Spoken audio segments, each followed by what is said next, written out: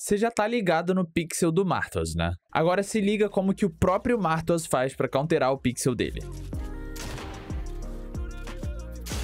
O Martos sabe que quando você edita o piso, ele fica muito mais fraco. Então ele pode só dar um tiro no piso, substituir com o dele e aí fazer o piece control em você. Só se lembra que isso só vai funcionar se a peça estiver recém-construída. Se o cara for fazer edição num piso que já tá com a vida cheia, mesmo depois da edição você não vai conseguir quebrar com um tiro. Então próxima vez que alguém tentar fazer um Martos Picking, você tenta dar o tiro no piso e substituir com o seu.